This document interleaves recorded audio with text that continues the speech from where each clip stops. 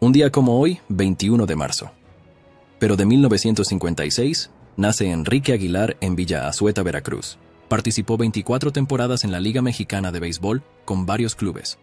Uno de los mejores bateadores de todos los tiempos con punto .302 milésimas. Está entre los mejores en temporadas jugadas con 24, juegos jugados, 2.476, veces al bat, 8.660, carreras anotadas, 1.417, hits conectados, 2.619, hits dobles, 405, carreras producidas, 1.496 y jonrones con 305. Además, conectó 40 triples y se estafó 174 bases. Él es Enrique Aguilar, inmortal del Salón de la Fama, clase 2005.